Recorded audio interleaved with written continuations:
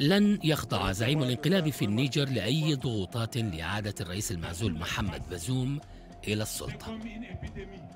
الجنرال عبد الرحمن تشياني رفض جميع العقوبات والتهديدات التي فرضتها الجماعة الاقتصادية لدول غربي إفريقيا المعروفة أيضا باسم إيكواس والتي غادرت عاصمة النيجر بعدما فشلت في الوصول إلى حل للأزمة والمهلة تنتهي يوم الأحد.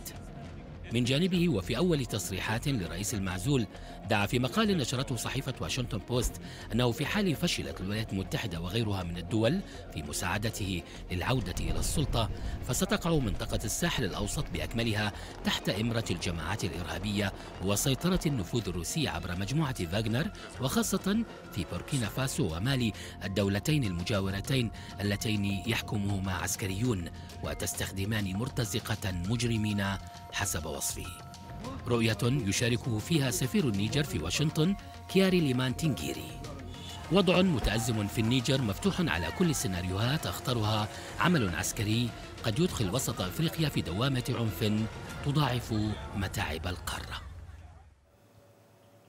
لمتابعة المزيد من الأخبار والبرامج والقصص الإنسانية والوثائقيات والتقارير لا تنسوا الاشتراك بقناتنا على يوتيوب الضغط على زر الإعجاب وتفعيل جرس التنبيهات.